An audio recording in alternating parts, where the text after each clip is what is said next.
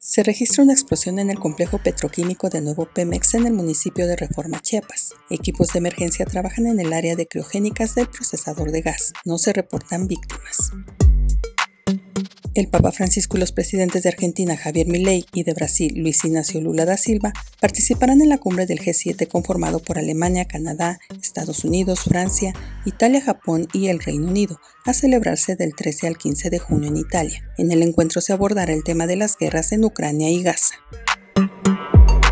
Jan Infantino, presidente de la FIFA, expresa su emoción por la inauguración del Mundial de Fútbol en el Estadio Azteca el 11 de junio de 2026. Destaca que será un hecho histórico al ser el Coloso de Santa Úrsula el primer estadio en recibir tres partidos inaugurales de la Copa Mundial.